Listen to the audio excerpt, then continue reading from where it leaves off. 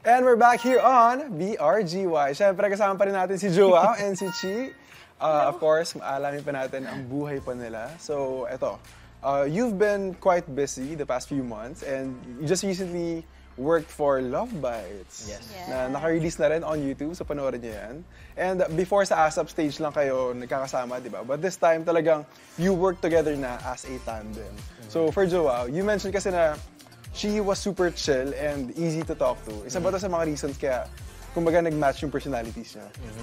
Yeah, I mean, I knew Chi kasi before Mm-hmm. Pe. So luckily, uh, when we got the opportunity to work together, it was easy na. Mm-hmm. At yun nga, dahil nga sa personality rin ni Chi, it's super easy and fun na to work with her. As in, we didn't have to break the ice or anything na. As in, we could talk to one another. Pero eto kay Chi, nakatulong ba na nakakasama or nagkakasama na nga kayo sa pagsasayaw before? Actually, nakakatulong talaga siya kasi si Joao, para siyang ano eh, para siyang dancer, choreographer, all-in-one, and teacher. Kasi may mga times na siguro, manonood lang siya. Mas ma- mamememorize niya agad yung steps ng iba and sometimes siya na magtuturo. Pero ayun, ah, since medyo umiinit na ating usapan, eto na tayo kay Chi. Babalik tayo kay Chi with our hot topic. Matawa. Eto na. So, yung hot topic is, meron kasi photo nyo ng kapamilya actor na si Jake Cuenca. And Jake even admitted na he's admiring you raw. Ngayon ba na nasa enjoying each other's company face na ba kayo? Actually, yes. Yun pa rin talaga. Getting to know. And um, I think din kasi, ako din eh, I admire him so much. Kasi ever since talaga, galing niyang umarte, ang galing niya sa lahat ng ginagawa niya. Kasi doon ko nakikita na if you put your mind into it, you can do it eh. Nakikita ko din kay Jake yun. And ito naman for Joao, na-experience mo raw noon sa ex mo na paghintayin ka sa wala. And looking back, anong natutunan mo sa mga ganitong pangyayari? Basta, there was this one time I was dating this girl. We were really like into each other. We we say we said I love you and stuff like that. But then we weren't officially together. So there were there were times I would wait talaga for her, and then yun nga hanggang sa wala lang talaga.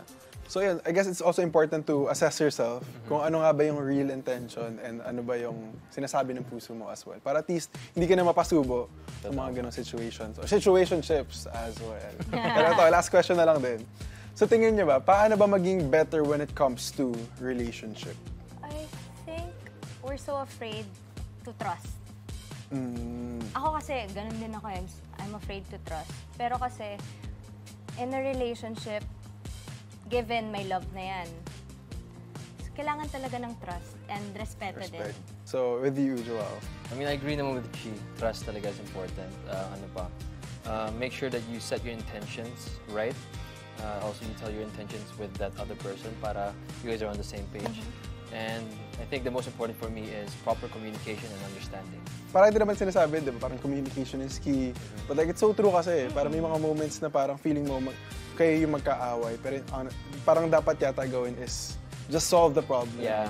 Hindi yung parang mas mag, naghihiwalay pa kayo together. Totoo. Because of that specific Tsaka, reason. yung communication, hindi siya mag-work kung wala nga yung understanding. Yun yun. Nasalita ka lang ng salita, tapos pasok dito, labas doon. Pareho kayong Wala nagsasalita, walang Exactly. nakikinig. That's true. Mm-mm. Ayan. So, sa mga tips, pwede pwede makuha yan. From Joao and Chi as well. Pero ito, game. Quick, ano na lang, quick game natin. Meron kayong mga mukha ng isa't isa dyan. Uh, Ayan. Dala-dala lang nila yan, guys, palagi. So, ayan, meron tayong game na gagawin. So, may mga, i-mention ako mga attributes and sasabihin nyo lang kung sino ba ang mas ganito between the two. Alright, so, let's see. Ano nga ba yung first natin? Uh, first is, sino sa inyong dalawa ang mas early sa set? Sabay? Oo. Kasi Time conscious magkaisena. kami. Oo, magkaisena. And true. Time conscious kasi kami eh. Mhm. Ako kasi hindi ko... Actually, tinatry kong maging late kasi lagi akong early. Pero hindi talaga, hindi nangyayari. I think hindi ako pwedeng malate na person. Yeah. May extra ka ba kasi, di ba? Parang, Tsaka, time is important kasi din. yeah. Yeah. Domino effect pag hindi ka dumating on time. Unless emergency na. Mhm. But yeah, yun. Ayokong sayangin yung oras ng ibang tao. Yes, being professional as well, di ba? Pero ito naman, next natin. Mas mahilig mag-picture. Uy! Ang bilis ah! Sige na po. Oh, yeah. Sino, sino? Si Chi. Paano mo si Chi nasabi? nakikita ko na lang sa set, minsan nagpipicture na, nagpo-post na. Ano, ah, taray. For the content. Oo. For the Kasi nga, content. content creators tayo, di ba? True. So yun. All around the din. nakita ko.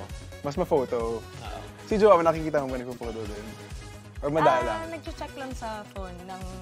Parang mirror niya yung phone niya. Ah, okay. Gets, Oo. gets. Actually, that's true. Kaya Oo, gusto ko pagdating nga sa din set, sabihin to eh. Parang okay pa ba? Okay pa ba tayo? But dapat fresh tayo. Diba? Okay, ito naman. Mas mabilis mag-memorize ng script. Ano ba? I don't know. Mabilis ka ba memorize Bilis. Bilis. Oo, mabilis. Nag, nung sa Love Bites ba, mas nagre-read lines kayo together? Oo, nagtithrow lines kami. Throw lines. Tapos, may times na kunwari, makakalimutan ko yung line ko, alam niya. Mm. Pag may makakalimutan siyang line, alam ko na, alam ko din. Oh, so parang kinu-cue nyo na lang. Yeah, so isa. batuhan talaga kami ng ano, Bigayan. energy. Galing, mas efficient, mas mabilis. So, Early pack up, pag ganun. Oo, tsaka alam din namin yung ginagawa. Gets. Ito naman, mas makulit. hindi ko alam. I think Is it both? Oo, si Chi. Yeah, energy.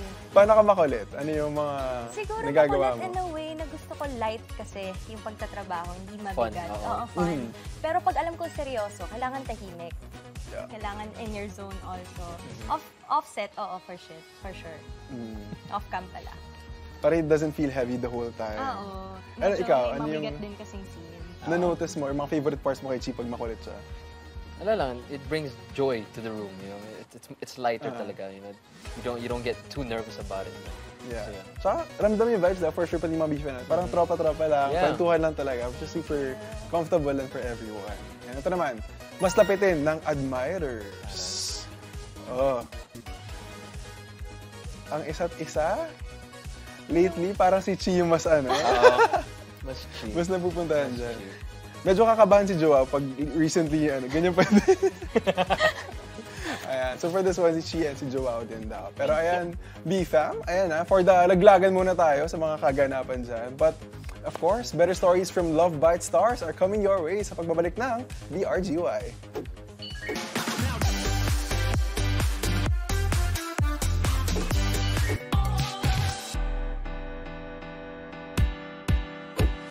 Fam I'm Rachel Gabreza, and my favorite bonding moment with my family is singing. Kumakanta kami sa karaoke, and sometimes kapag may mga birthday parties and um, celebration, parati talaga kami kumakanta. Hola, hey, mabuhay